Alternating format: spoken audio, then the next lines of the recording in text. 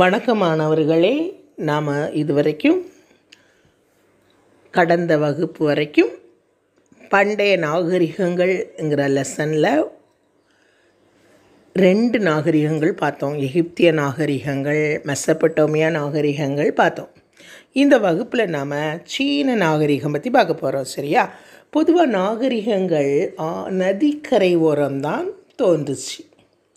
அதே மாதிரி இந்த சீன நாகரிகமும் அப்படி தான் நம்ம எகிப்து நாகரிகம் பார்க்கும்போது நைல் நதியை சொன்னோம். ஓகே மெசபட்டோமியா வந்து யூப்ரட்டிஸ் டைக்ரிஸ் சொன்னோம். இந்த சீன நாகரிகத்தில் ரெண்டு நதிகள். ஒன்று மஞ்சள் ஆறுன்னு சொல்லக்கூடிய ஹோவாங்கோ அப்படிங்கிற நதி இன்னொன்று யாங்ஸி நதி. இதில் இந்த ஹோவாங்கோ நதின்னு சொல்லக்கூடிய மஞ்சள் ஆறு தான் சீனாவின் துயரம் என்று அழைக்கப்படுது. இதுக்கு என்ன காரணம்னா இந்த ஆறு அடிக்கடி தன் போக்கை மாற்றிக்கொள்ளுது. ஸோ அதனால் வெள்ளப்பெருக்கு ஏற்படுது. நிறைய உயிர் சேதங்கள் ஏற்படுது. அதனால் இதை சீனாவின் துயரம் என்று சொல்கிறாங்க சீனாவில் தொல் பழங்கான மனிதர்கள் ரெண்டு பேர். பீகிங் இன்னொருத்தர் யுவாங் மாவோ மனிதன். புதிய கற்கால கிராம மக்கள் மஞ்சளாறு சமவெளியின் ஹெனான் மாகாணத்திலும் யாங்ஸி ஆற்று சமவெளியிலும் குடியேறுறாங்க அடுத்தது அரசியல் அமைப்பு பேரரசர்களும் இதில் சீனாவின் முதல் பேரரசர் யாருன்னா சி ஹுவாங் டி ஓகேயா? இவர் குவின் வம்சத்தை தோற்றுவித்தவர். இவருக்கு சொர்க்கத்தின் புல புதல்வர் அப்படின்னு ஒரு பட்டம் இருக்குது.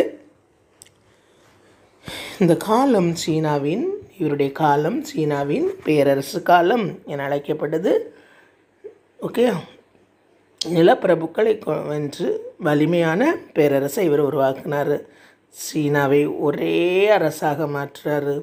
இவர்தான் உலகத்திலே புகழ்பெற்ற உலக அதிசயங்களில் ஒன்றான சீன பெருஞ்சுவரை கட்டினார். ஓகே. பேரரசை இணைக்க சாலைகளை அமைக்கிறார். அடுத்தது ஹான் பேரரசு. இந்த பேரரசு காலத்தில் எழுத்துப்பூர்வமான சீன வரலாறு முதல் முதல்ல எழுதப்பட்டது. ஹுடி பேரரசை விரிவுபடுத்தி பாசன குளங்களை ஏற்படுத்துகிறார் மேலை நாட்டிற்கு தனது தூதரை அனுப்புகிறார் பட்டு பாதைகளை திறக்க வழிவகுத்தார். பட்டு பாதை. ஓகே இதுக்கு முன்னால் சி ஹுவாங்தி வந்து சீன பெருஞ்சுவரை கட்டினார். வெளியிருந்து யாரும் உள்ளே வரக்கூடாது அப்படிங்கிறதுக்காக ஆனால் இந்த அரசர் பட்டு பாதைகளை திறக்க வழிவகுக்கிறாரு. ஜாங் பேரரசர் காலத்தில் வணிக தொடர்பு ஏற்பட்டது. ரோமானிய பேரரசர் மார்க்கஸ் அரேலியஸ் காலத்தில் சீனப்பட்டு ரோமானியர்களிடையே புகழ் பெற்றிருந்துச்சு. சீன ஒரு பகுதி தமிழக துறைமுகம் வழியே ரோமபுரிக்கு சென்றிருக்கலாம். அடுத்தது சீன பெருஞ்சோரை பற்றி பார்க்க போகிறோம் இது உலக அதிசயங்களில் ஒன்று. வடக்கே இருந்து வரும் ஊடுருவல்களை தடுக்க எடுத்த முயற்சி தான் இது. அதாவது வெளிநாட்டவர் இங்கே உள்ள வராமல் தடுப்பதற்காக எடுத்த முயற்சி. ஹுவின்சி ஹுவாங் படையெடுப்புகளை தடுக்க பொது ஆண்டுக்கு முன் ரெண் இரநூறுக்கு முன் கட்டப்பட்டிருந்த பழைய கோட்டை சுவர்களை இணைக்கிறார். மூன்றாம் ஆண்டிலிருந்து பதினேழாம் நூற்றாண்டு வரை இதன் விரிவாக்கம் நடைபெறுது. ஓகேயா அடுத்தது இராணுவம். பல நூற்றாண் நூற்றுக்கணக்கான இராணுவ வீரர்களின் சுடுமண் பொம்மை சிற்பம் அங்கே கண்டுபிடிச்சிருக்காங்க. முதல் சீன பேரரசான குவின்சி ஹிவாங்கின் இராணுவத்தின் பிரதிபலிப்பதாக கருதப்பட்டது. இவை அரசர்களுடன் அவர்களுடைய கல்லறையில் புதைக்கப்பட்டதாக தெரியுது.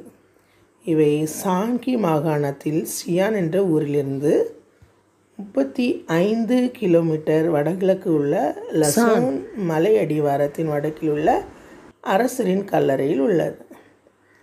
அடுத்தது தத்துவ ஞானிகள் இலக்கியம். இதில் பார்க்கும்போது லாவோட்ஸு கான்ஃபூசியஸ் மென்சியஸ் மோடி தாவோசின் இப்படி தத்துவ மேதைகள் இருக்காங்க.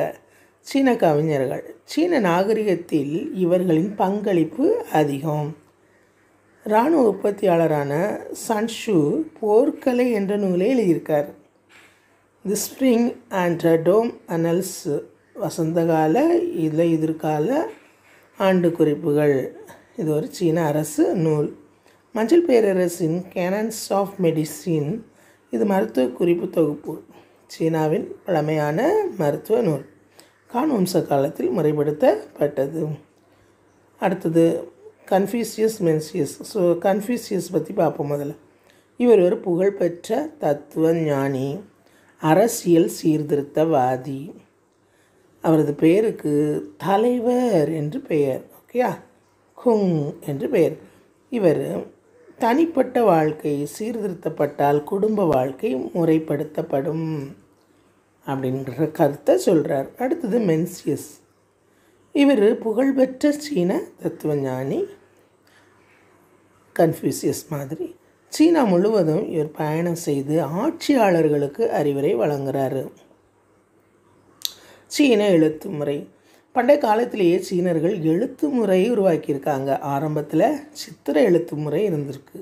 பின்னர் அது குறியீட்டு முறையாக மாறியிருக்கு. ஓகேயா?